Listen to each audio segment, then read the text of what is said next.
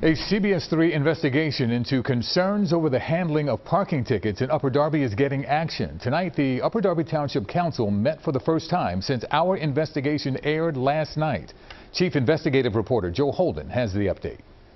Good evening. Upper Darby Township Council ordered an audit of the Parking Enforcement Department 24 hours after a CBS 3 investigation revealed 18,000 parking violations were never sent to local district courts, triggering due process concerns. Anger at an Upper Darby Township meeting. 18,000 tickets being held downstairs and not being paid for. the parking tickets and the parking situation. We have to look at everything that's been done. People blasting township leaders over the alleged mishandling of parking violations that a two-month-long CBS 3 investigation found that a total of 18,000 tickets over two years were not sent to local courts for processing, which township council members say is a violation of a long-standing ordinance. 18,000 parking tickets. That's money coming into the county or township coffers that could pay for some of these trash trucks.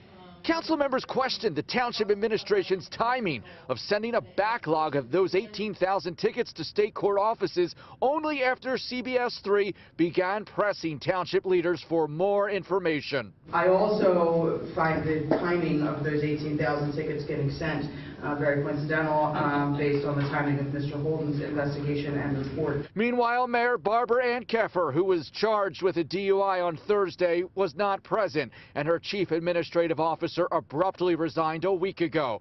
Keffer last month explained the ticket controversy happened as the result of technology issues. All in favor of the amended version for this motion? Aye. Township Council authorized a seven-year audit of the parking department, passing by a vote of eight to one. Council members are concerned the township could be out a lot of money. How much money are we talking about the township could possibly be out? Um, I, Twenty-five dollars a ticket times eighteen thousand. so it's like half a million dollars?